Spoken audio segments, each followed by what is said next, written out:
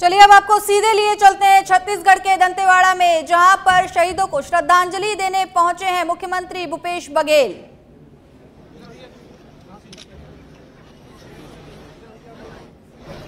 शहीदों को श्रद्धांजलि देने पहुँचे हैं मुख्यमंत्री भूपेश बघेल। आपको बता दें कि कल छत्तीसगढ़ के दंतेवाड़ा ज़िले में नक्सली हमले में 11 जवान शहीद हो गए थे। इसके बाद आज उन्हें श्रद्धांजलि देने पहुँचे हैं मुख्यमंत्री भूपेश बघेल। जी हाँ सीधी तस्वीरें आपको दिखा रहे हैं इस वक्त दंतेवाड़ा से।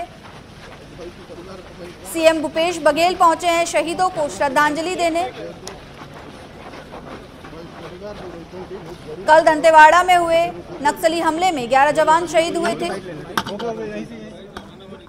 इस खबर पर और अधिक जानकारी देने के लिए हमारे साथ फ़ोन लाइन पर जुड़ चुके हैं हमारे संवाददाता राजीव तिवारी। राजीव, कल दंतेवाड़ा में जो जवान शहीद हुए हैं 11 जवान शहीद हुए हैं। ऐसे में आज उन्हें श्रद्धांजलि देने मुख्यमंत्री भूपेश बघेल पहुँचे हैं दंतेवाड़ा।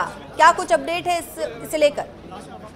बिल्कुल कल छत्तीसगढ़ के दंतेवाड़ा में जिस तरह से नक्सली हमला हुआ, उसके बाद मुख्यमंत्री भूपेश बघेल ने स्टेटमेंट दिए कि नक्सलियों को छोड़ा नहीं जाएगा। नक्सलियों से जो लड़ाई है, वो अंतिम दौर में है, और इस समय यहाँ पे पहुँचे हुए दंतेवाड़ा, और जो शहीद हुए हैं जवान, उनको श्रद्धांजलि दे रहे हैं। कल बहुत दुख जताया था। मुख्यमंत्री भूपेश बघेल ने उन्होंने कहा था कि सुरक्षा बल के जवानों के ऊपर जो हमला हुआ है आईईडी लगा करके जिस तरह से घात लगा करके नक्सलियों ने घटना को अंजाम दिया है तो नक्सलियों को छोड़ा नहीं जाएगा। सबसे महत्वपूर्ण बात है कि जहाँ तक जो इंफॉर्मेशन मिली थी सुरक्षा बल को कि यहाँ पे भारी संख्या में नक्सली छुपे हुए हैं और लगातार सुरक्षा बल के जो जवान है अधिकारी है वहाँ पे सर्च ऑपरेशन कर रहे थे और सर्च ऑपरेशन करके टीम लौट रही थी वहाँ पे आईईडी के द्वारा विस्फोट किया गया और पूरी गाड़ी में जितने जवान थे ड्राइवर सब शहीद हो गए ग्यारह लोग शहीद हो गए। तो दिल्ली से लेकर के और छत्तीसगढ़ तक जो भी गृह मंत्री अमित शाह की बात कीजिए प्रधानमंत्री की बात कीजिए दूसरे राज्यों के मुख्यमंत्री की बात कीजिए मुख्यमंत्री भूपेश बघेल की बात सभी लोगों ने दुख जताया और एक कायरतापूर्ण हमला बताया। और इसी को लेकर के मुख्यमंत्री कहा जा सकता है कि अग्रेसिव मोड में और आज जवानों को शहीद देने पार्थिव शरीर को श्रद्धांजलि देने पहुँचे वहाँ पे। लेकिन इनकी जो नाराज़गी अभी भी देखने को जैसा कि बता रहे लेकिन नाराज़गी देखने को मिल उनका साफ़ तौर पर कहना है कि जो भी नक्सली है जहाँ भी छुपे उनको पकड़ा जाएगा किसी को पकड़ा नहीं जाएगा। और जो भी शहीद हो गए जवान उनके परिवार के साथ सरकार है परिवार के सब कुछ कह रहे हैं कि मैं खड़ा हूँ उनके बच्चों के लिए जो भी सहायता होगी मैं खड़ा रहूँगा। लेकिन फ़िलहाल घटना दुखद है और कहा जा सका कहा जा सकता है कि मुख्यमंत्री लगातार कह रहे हैं कि नक्सली जो भी इसमें इन्वॉल्व है तो बचता नहीं जाएगा धरपकड़ जारी है। जी। जी बिल्कुल। राजीव देखिए बेहद ही दुखद घटना है लेकिन सीएम ने कड़े शब्दों में चेतावनी भी दे दी है नक्सलियों को। बिल्कुल देखिए जब घटना घटी उसके बाद ही मुख्यमंत्री भूपेश बघेल का स्टेटमेंट आया कि नक्सलियों को छोड़ा नहीं जाएगा जो भी नक्सली है उनको पकड़ा जाएगा। और जो इंफॉर्मेशन मिल रही थी, जो सुरक्षा बलों को इंफॉर्मेशन मिल रही थी कि यहाँ पे दंतेवाड़ा में इस पॉइंट पे भारी संख्या में नक्सली छुपे हुए हैं, बड़ी घटना को अंजाम दे सकते हैं। लगातार सुरक्षा बल की बात कीजिए तो छत्तीसगढ़ की सुरक्षा बल और केंद्रीय जाँच एजेंसियाँ लगातार जिस तत्परता से काम कर रही थी और तमाम नक्सली सरेंडर कर रहे थे और बहुत से ऐसे बड़े नक्सली नेता थे जो सरेंडर करने वाले थे।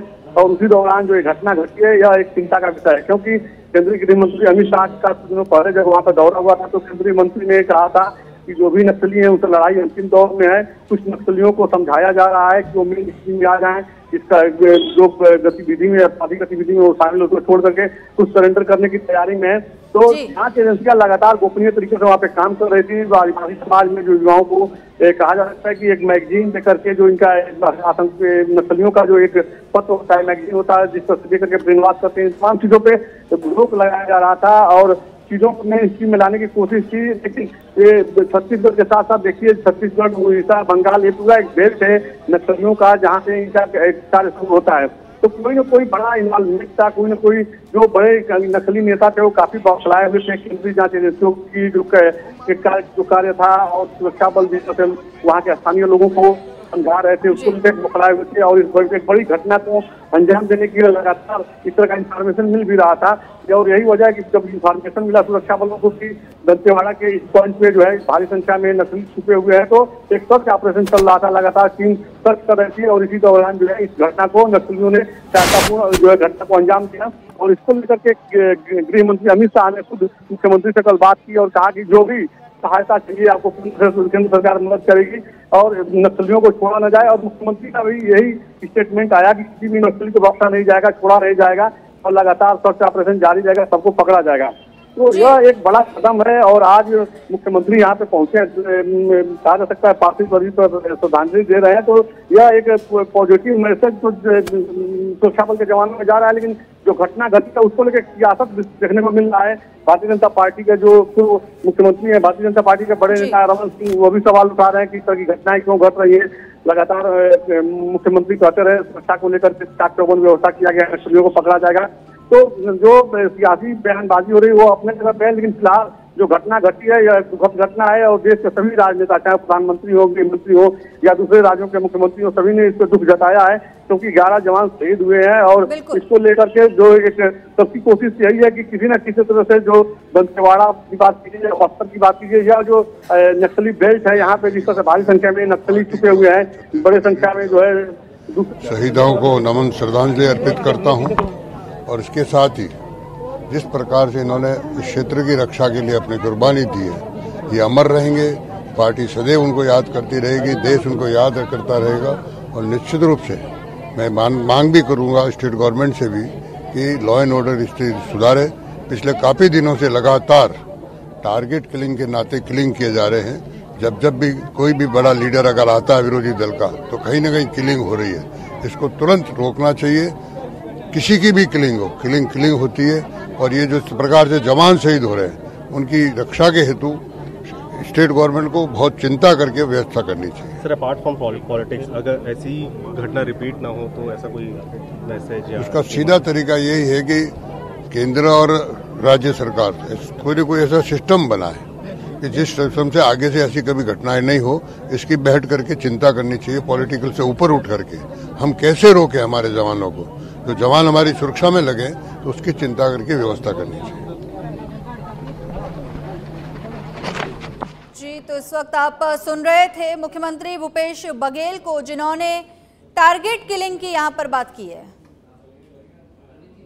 ओम माथुर को आप सुन रहे थे, माफ़ कीजिएगा, जिन्होंने टारगेट किलिंग की यहाँ पर बात की है। साथ ही सुरक्षा व्यवस्था को लेकर केंद्र और राज्य सरकार दोनों को पुख्ता इंतज़ाम करने को कहा।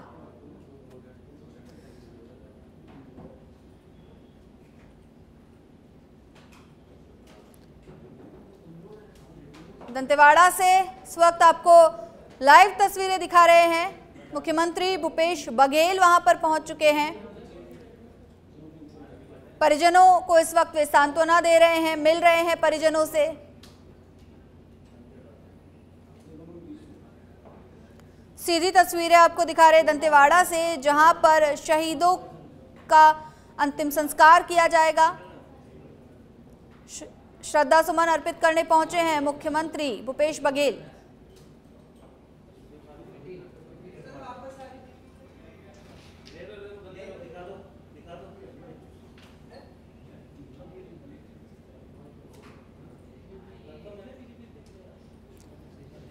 इस दौरान बीजेपी प्रदेश अध्यक्ष ओम माथुर भी दंतेवाड़ा पहुँचे और शहीदों को श्रद्धांजलि दी।